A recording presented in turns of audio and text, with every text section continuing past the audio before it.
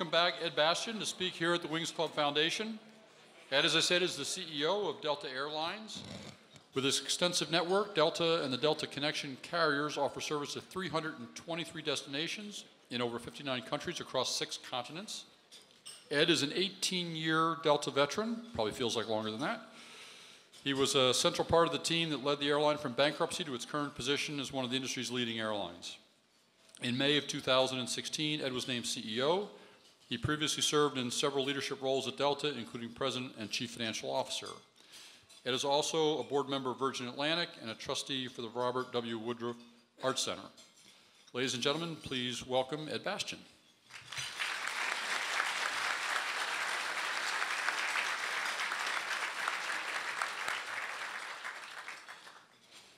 So for today's interview, we're very pleased to welcome Scott Mayerowitz. Scott is the editor of the digital platform Storytelling at the Associated Press. He spent the last six years covering the airline industry for the Associated Press. Prior to arriving at the Associated Press, Scott covered travel and business at ABC News. Welcome, Scott. Please join us up to stage.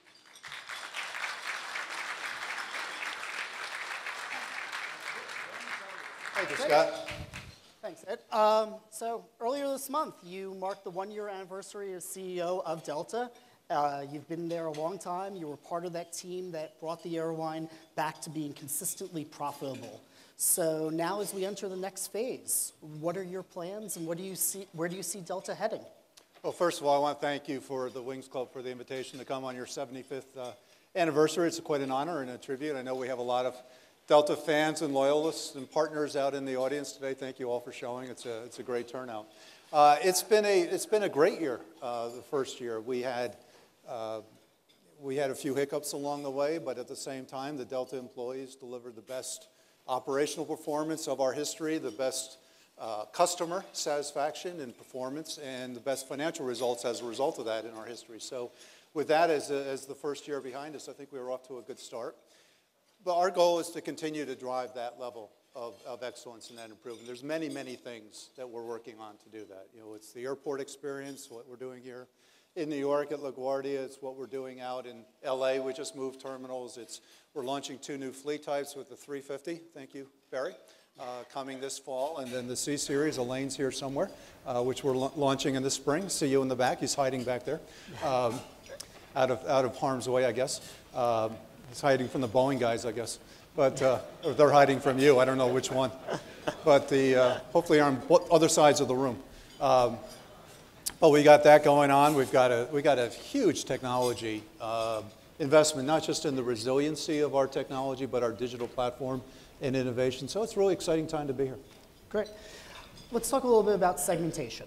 Um, we've seen United and American go ahead and let's say, copy your basic economy uh, fare structure. Now, I know you can't talk about fares and where we're heading with that, but you've got on the A380 when it arrives some new suites coming out, and you've seen the basic economy concept expanded from market to market.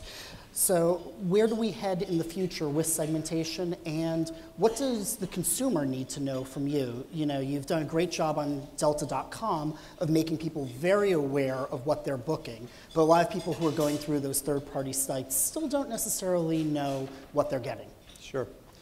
Well, we, we've had basic economy in the market for about three years, and it's, it's done well for us. We, we're not going down the path that American and United have taken with respect to truly decontenting uh, the experience for the customers. We don't, uh, we don't believe in that. But what we have is a part of our business, there's a commodity component. It's you know, 30, 40, 50% of our customers that really price is the most important determinant that they make with respect to the travel decision. And we want to be able to compete uh, with, with commodity providers. And, that's, and that was our attempt to do that. But the other side of it is that consumers today increasingly also want choice. And by bringing whether it's our Comfort Plus product, our Premium Select that you're going to be coming in up to Delta One, we're introducing choice to a market that hasn't had it in the past. It was more of a one-size-fits-all. Uh, and so it's, it's a new concept. Merchandising in the industry in the past has been, we've been pushing fees on people.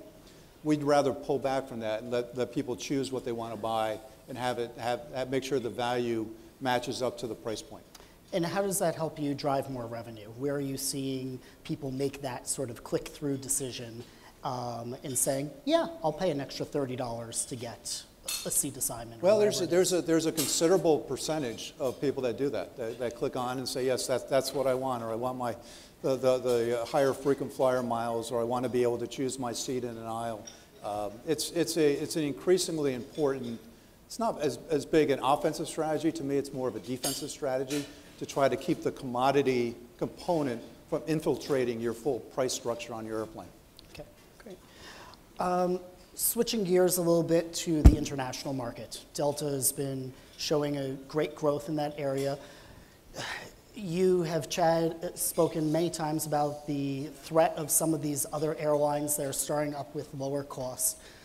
I'm curious what you're, what you see as the biggest threat out there. Is it Middle Eastern Airlines? Is it a low-cost transatlantic carrier? And what outside of government regulation can you actually do to combat that? Well, the international market is a, uh, it's, it's, it's an interesting, uh, it always is interesting, right? You've got, you've got a lot of things going on. Uh, for us, we've, we've taken an approach to be much more active in terms of investment. So we just closed last month on the acquisition of a 49% stake in Aeromexico, so we're now the single largest uh, stakeholder. I see our COO from uh, Delta, Mr. Mike Medeiros, in the back of the room. I saw him this morning. Mike, glad to, good to be there. Mike is a perfect example. He's Delta born and raised. We just moved into Mexico City, and he's the chief operating officer of Aeromexico. We announced this morning the guy that runs our Asian Pacific practice, Vinay Dubey, was just named CEO of Jet Airways in India, uh, which we, we, we worked together with Naresh to do. So, so it's more than just going in and, and investing. It's actually starting to move the physical talent in the world. Because I look at the world for the next 10, 20, 30 years. International, while it's not a popular place to be today, will be a place that needs to grow if we're going to grow uh, our franchise. The U.S. is fairly mature as, a, uh, as an industry. So we're, we're out there making these investments, and we're working with Korean Air. Hopefully, we'll be announcing something with them, uh, with them soon. On the question of the Norwegians and the ultra low, we, we, we compete with low cost guys all day long, and we're, we're happy uh, to compete as long as everyone's playing by the same set of rules. You know, that's, that's the important uh, uh, attribute there. And the Middle East carriers, we, we've got a very different view on that. You know, we, we see the size of the subsidies, we see the, uh, uh, the uh, which we believe is the largest abuse of, a fair trade, free trade agreement that there sits out there with $50 billion of subsidies that are being offered. So from our standpoint, if we're not successful in, in getting the government to examine this and to take action, the U.S. carriers are not going to have an international franchise that they could have long term. So we're going we're going to be around, we're going to we're going to be there fighting, but we also need the government to make sure that there's a level playing field. Open skies does not mean open at any expense. And you know, our jobs are not for sale. And we're going we're going to support our people. And if you don't get that government support, do you compete service? Do you target markets more selectively? How, how does that philosophy Well, I'm change? not going to I'm not going to speculate that because I think we are going to get the support. Good answer. Um, those outside of the industry, everybody's been talking about customer service these days. You know, each day there are about 2.5 million passengers flying in this country. There are bound to be some customer service issues. But the cell phone has changed that, where even the slightest hiccup can suddenly become a viral headache for an airline. How do you change your operating procedures moving forward, both on the social media front, responding to these instances, and also in training your staff um, to go above and beyond to make sure you don't get in that situation? Well, you know, the thing about our business is our people are on stage all the time, you know, with cell phones or without cell phones. They're in front of 200 people or they're in the airports and they're used to being very visible. And uh, what we teach our people, the values of the company, and that's what we hire for, the values, is that, you know, about courtesy, about compassion, about honesty, and about integrity, and treating people the way you'd want your family members to be treated. And if you take that approach towards, towards the environment, you're going to be on the right side of that. We've got your back. Uh, the social uh, media explosion with everyone walking around being an amateur photographer or videographer or whatever it is, I, you know, it, it, that's here. It's, it's, it's penetrated you know, multiple layers of society, and we'll, uh, we'll learn to deal with it. We're still playing catch up on the social media component of that, because for us it's been very much a more deep playing defense rather than playing offense, and we'll, uh, we'll learn as we go, but I'm, I'm proud of our team, and I, I don't lose any sleep about the decisions our people make every single day in very difficult situations on board our airplanes. We, we carry 180 million people a year. So we carry a cross-section of society, and we have a full cross-section out there, if you haven't noticed. Noticed on my flight last week. um, ha- have you changed the way vouchers are given out for compensation? Has there been an increase there? You're talking Uh, about uh, on denied denied boardings? boarding, yeah. Um, We did announce an increase for the authorized limits to where, uh, where consumers could be, uh, could be uh, involuntarily denied, but that, that hasn't had much of an impact. Uh, We only had, I think in 2016, 1,200 people that were involuntarily denied, so that was about one in 100,000. And what about the voluntarily denied? You know, I, long before any of this went out there on viral videos, I was coming off a flight in Denver and I heard the Delta Gate agent offering like $1,200 um, on New Year's Day for someone to volunteer. Have you needed to up those? It- It's, it's all market-based, and it's, it's, it's a decision that the gate agent has the tools to do. You know, one of the things that we did, that's, that I- I think some of the airlines will start copying here soon, I, I don't know why they don't actually, is that we do a private auction at the kiosk. So when you check in for your flight, if we're oversold, and by the way, oversales usually are not because of an oversale. You know, it's because we've had an equipment change, or there's been a cancellation, there's been some other reason why the aircraft needs to, uh, needs to reaccom people. Uh, we ask people for what their price is. You know, if you're willing to volunteer, tell us what, what price you're willing to volunteer for. So our agents at the gate have a list of what the, you know, and start from the bottom, you know, who's the, who's the, who's the first person that, because if you, you never want to do a public auction, right? Because that's, everybody's, you know, be quiet, don't, don't, you know, don't bid. But you want to do it, make it a private auction, so we know what the true, the true market clearing price is. And that's why we've had the success. We've had, I think, 10, probably 10% the number of involves that many of the other majors have had as a result of that. I'm clearly bidding too high. I never get picked from the kiosk. Yeah. But the other thing we've used, I mean, we, we give people iPads. Okay, Now, how much does an iPad cost? You know, $500, $700? It's a lot cheaper than, you know, $1,000 of, of other stuff, right? And so, but people feel like they got an iPad, they, they take that rather than take a travel voucher. Yep. So we're, we're, we've been very creative, and the, the importance is putting the um, responsibility and the tools of the hands of the people at the first point of contact. We're at the gate to make things happen, and it's, it's actually, people, people generally walk away pretty happy from the experience. Uh, speaking of iPads, let's talk a little bit about electronics. Uh, right now, there's a laptop ban from some of the Middle Eastern countries back to the US. There was talk of such a ban between the US and Europe that seems to have quieted down, but is still lingering out there.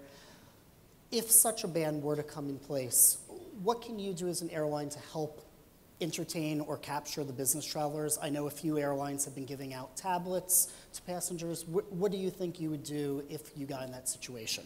Well, first of all, we don't know what's going to happen, and I, uh, I'm not, again, I'm not going to speculate on what the, uh, what the Secretary of Homeland Security is going to decide. He's, you know, it's been a uh, rather public debate uh, with the EU and the, and the U.S. security uh, teams, and, but if indeed a ban does, does, uh, is implemented, we'll certainly abide by it, we'll, we'll comply by it. We, uh, we do have uh, our game book, uh, game plan ready. I'm not going to disclose it here uh, to what we're going to do, but we're ready in the event of. And this is a resilient industry. Uh, people travel. I've seen estimates of up to 10% of the, of the, of the international travelers. I, I don't understand how people know what that number is. Uh, I don't think that not having your laptop on, on, the, on board your plane is going to keep people going from going to Europe this summer or anything. So there's going to be an inconvenience factor to the business traveler, which we'll work hard to accommodate. But we're going to, uh, we're going to, we're going to work around it if it goes into effect, and we'll figure out ways to, uh, to adapt. We're, we're an incredibly nimble uh, industry, if you haven't noticed.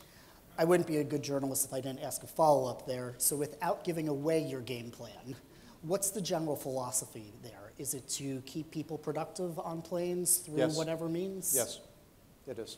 Give Okay. people what they want. Okay, great. Um, and on the other question on that, there's been a lot of talk about the safety of putting a laptop in the cargo hold. You know, we had an incident overnight with a JetBlue flight where a laptop apparently seemed to catch on fire and they diverted to, I believe, Grand Rapids. is there a concern about safety in the cargo hold and also just, you know, more broken or damaged electronics? We, we have, uh, you know, we've had incidents on board our planes as well over time with, you know, you get, sometimes you get an electronics, you might get an iPad or a portable device that gets stuck in the gears of a seat and it starts to burn, and we've, we've had incidents on board already. So I think that the issue with the cargo hold is one of the factors why a decision hasn't been made to ban uh, electronics from the cabins yet. I think the, I think the security teams are uh, still working through what that means on the safety, the safety element. Let's talk a little bit about politics. Uh, let's see, American just hired a new head of government affairs. You and United have yet to fill those vacancies, but have been actively looking. What, what is the state of regulation right now under the new administration, and what goals do you hope to accomplish for Delta? Well, I think the stated goals of the administration line up very well with our, with our, uh, our strategies. I mean, first of all, this administration ran on a platform that they were going to protect American jobs and enforce uh, U.S. trade treaties. Uh, open skies and the Middle Eastern issue is, is, is top of my list in terms of making certain that happens. Uh, ATC reform, a tremendous uh, portion of the infrastructure fund is going to be focused on modernization of air traffic control. You know, contrary to a lot of popular opinion, we are endorsing and supportive of modernizing air traffic control. It's just a question of privatization, the how, not the what. And, but, but we're at the table and we're having those conversations. Uh, taxes and regulatory reform. Uh, again, this president is, is committed to, uh, to bringing down taxes. There's not a more heavily taxed industry on the planet than the U.S. airline industry. 20% off the top goes to pay for infrastructure and other taxes, some of which, by the way, go off property. That's not, that's not exclusive just to helping run the, uh, the airline in infrastructure. So I think there's a, there's a lot in there that the, that the administration is working on, and we're going to we're gonna be uh, right alongside them in, in trying to make certain our points, points of view are, are well represented. Great. Um, let's talk a little bit about customer experience. You've brought back meals and coach on a lot of routes, particularly the transatlantic, uh, transcontinental ones. This fall, you plan to debut suites in Delta One on the A350. Can you talk a little bit about how um, the experience is going to change in the next year or two for passengers?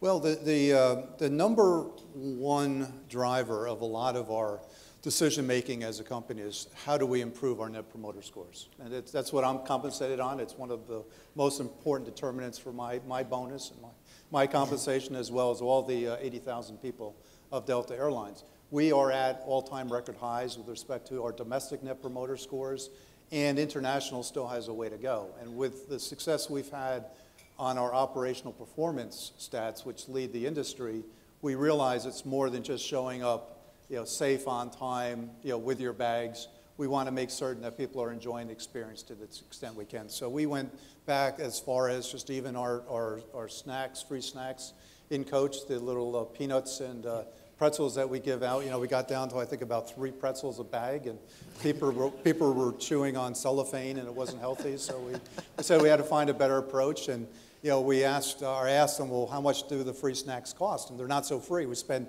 $13 million a year on free snacks. I said, well, that's not so free. And they said, yeah, we can't afford to do, do branded snacks. And I said, well, if you do the math and we have 180 million customers that we pay $13 million for, it, that means the average person gets about four cents. I think our customers deserve more than four cents a customer, right? I think maybe we could spend a dime or maybe even a quarter and lose our head, you know, and, and, and, and, what, we've seen is we've done that. And now we're actually bringing the, uh, the branded companies in, and they're competing for the right to be on board. And they're actually funding a considerable amount of the snacks. So we're going to have a better experience for customers as well as a better, a better outcome on our, our financials, and we see our net promoter scores continue to grow. I mean, so that's just a small illustration. And then the next thing was food.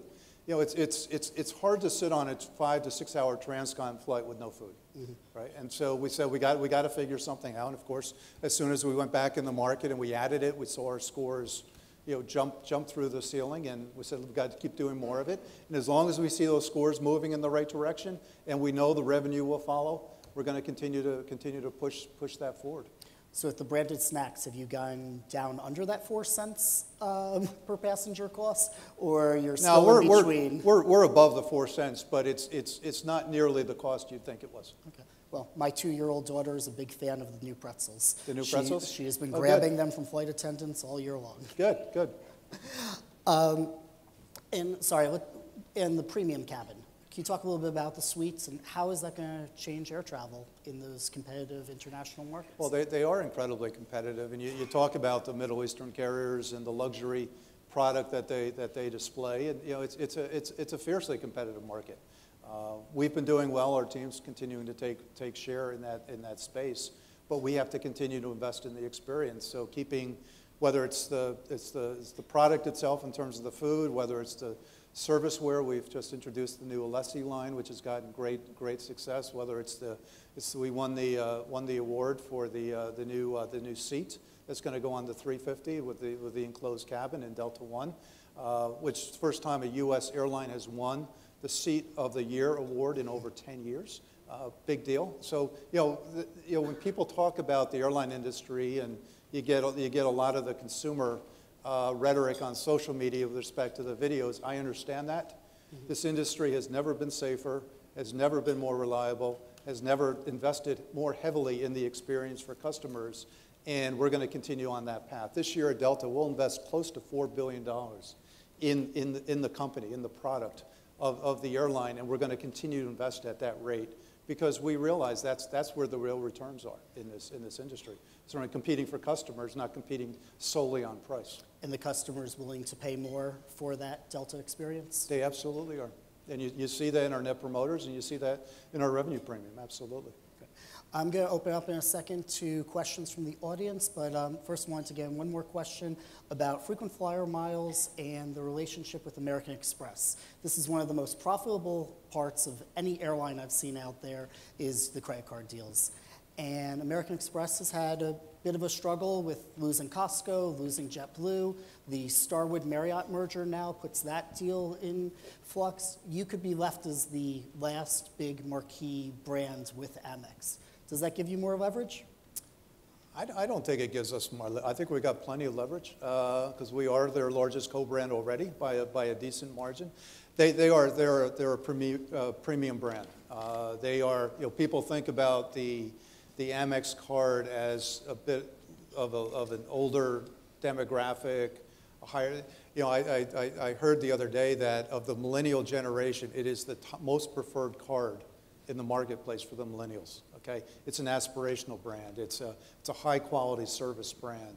And linking the, the Amex brand alongside the Delta brand and having, being the exclusive airline that works with Amex, it gives us tremendous power. I'd much rather work with, with, uh, with Ken and the Amex team on focused on the market than, you know, some of the other carriers that have decided to go to JP Morgan Chase and they're all trying to fight for, fight for equal time with, with each other. We're, we're very, very happy with our Amex relationship.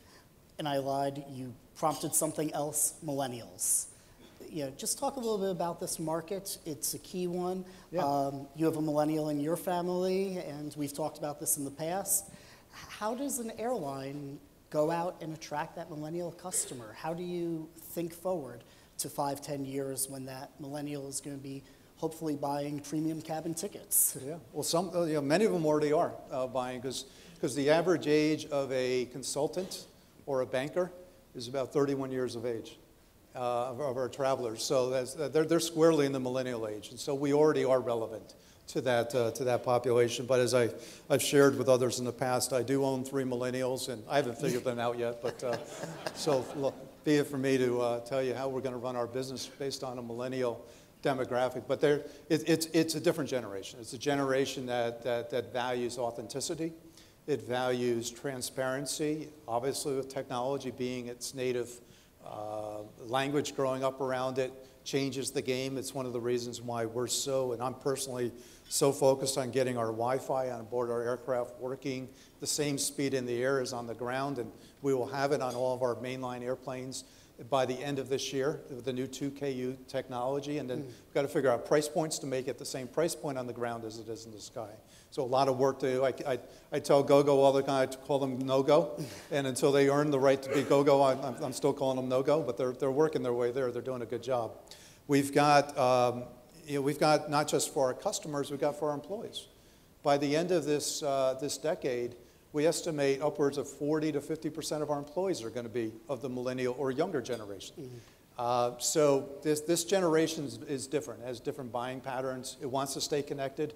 It's why our digital strategy and technology is so important to us. It's why we're investing heavily. We're going to invest a half a billion dollars in technology this year, very much focused on, on, that, on that generation. Fantastic. I think we're going to now open it up to questions. Hand it back to Scott. Hi, Ed. Jamie Baker with uh, JP Morgan. So the, the way that I see the industry's profit renaissance here in the States, it's as if the industry has simply managed, I shouldn't say simply, has uh, managed to cut itself an ample sized piece of an aviation pie. And I would certainly argue that the size of that piece, the increase from the crumbs that at one time were left over for common shareholders, has come at the expense, the disintermediation of brick and mortar travel agencies. It's come at the expense of some of your captive regionals. Uh, it's uh, you know come at the expense potentially of the OEMs. Is the aviation pie or Delta's slice of that pie as large as it can currently get? Or if we're here a year from now, where do you think you will have made further progress? The investment banks, of course, Amex and, you know, speaking for my own employer, we have seen significant value return to the airline. Where does that size of the pie go from here? Uh, It's a great question, Jamie. We are uh, a very different business than ever in, in, in our history, and I am a proponent that, that things really have changed, and I know every time you say that, you know, people find 10 reasons why it hasn't, but it truly, truly has changed. I think the thing that's going to change about us for the future at Delta is the larger international thing. You know, we got to be seen not just as a, a strong domestic airline. I want us to be seen as a very strong global airline and a global brand. And that's the path to me for the future. And I think that's going to inform our investments. That's why we're putting people in, whether it's Aeromexico or in Japan or in Brazil or in London. Uh, we've got a tremendous amount of growth. And, and, and you know, the international space is always going to be bumpy. It's going to be a little more volatile than what you'll find in the U.S. But I think that's where the long-range uh, opportunities will sit. Uh, I think the other thing that we're doing in the business in the next five to seven years is I think we're still a big scale player. We still have some great scale opportunities. We talk about upgauging where we're bringing larger aircraft with the 321s that are replacing the MD-80s or the 739s that are doing the same or going to the C-Series and knocking out the regionals. That's going to continue. Uh, we, we easily have five to seven years of additional rapid growth. It's going to allow us to take, make better use of the air traffic infrastructure. Uh, it's going to put a little more pressure on the airports themselves, but that, that's what the, but, but you know, you don't need any more gates or landing uh, space or slots in order to accommodate that. And the new, the new engine technology and the new aircraft technology is, is, is really exciting. So we, uh, we're, we're investing heavily at the moment on the, on the aircraft side into that domestic space. And I think that's, I think that's another space where you can see it. See it. So I, I, think the, our, I think our pie does get bigger. Uh, and I think those are two areas you're going to see it, see it grow. Hi, I'm Mary Ellen Jones with Pratt and Whitney. Yes. Uh, very glad to hear about the Wi-Fi improvements coming soon. Um, and I do have Me a, too. I do have a, a related question. We saw British Airways had a rough weekend with their computer failure. Delta had its own difficulties earlier this year. Is that a function of aging infrastructure, of overload, or, and what, what can you do about it? What can the Well, industry do? I, I have no, I have no idea what caused the, uh, the BA other, I read the same, the same that you read. They said they had some type of electrical, electrical problem. Uh, for hours, it was an electrical problem also. It was, it was bizarre. It read almost very similar to what we experienced. And it was, it was aging equipment. Uh, we had a, uh, we had a, a, a, a switch gear in, in our, in our data center that, that, uh, that, that caught on fire from, from, just- it was 40 years old. And it just, it burned and it charred and it, it caused the one side of our data center to shut. And then the flip side of that never, it turned on, but not all the pieces of the, of the B side flipped on. And when the A side went to look for the B side, the whole, the whole complex came down. Um, we learned a, a really important lesson. And uh, I think one of the things we've talked about is how this industry has, has invested and changed and made a lot of progress. Well, it's been in that uh, customer experience, it's been in the aircraft, it's been in the airports. we can't forget our back office, and we can't forget the, the cost of operating a, a, quality business. So we're investing part of the, the half a billion dollars, Scott, that I mentioned on, on technology. We're putting $200 million of that into a new data center, which will be up and running this summer in North Atlanta, that will eliminate that issue um, for the future. So we'll have an active, an active, full redundant uh, capacity. But it's, you know, technology is, technology is the lifeblood. When I talk about technology with our people at Delta, we're, we're very proud of our people, and our culture is what I think really separates our, our service level. You know, the airlines have storied legacies and histories, and many people in this room are, are a huge part of that history. But, you know, the things that are, make airlines unique truly are only the people. It's the only thing that separates one airline from another airline. And our culture and our people, I think, are second to none. But second to that, technology, I think, is the second thing that will differentiate an airline in your ability to, to implement and drive technology and innovation. Uh, but you have to have a, a resilient backbone before you can, you can make that happen. So those are the two places that we're going to be investing heavily is, is people and technology. That's great, Ed. Thank you very, very much come Thank you, sir.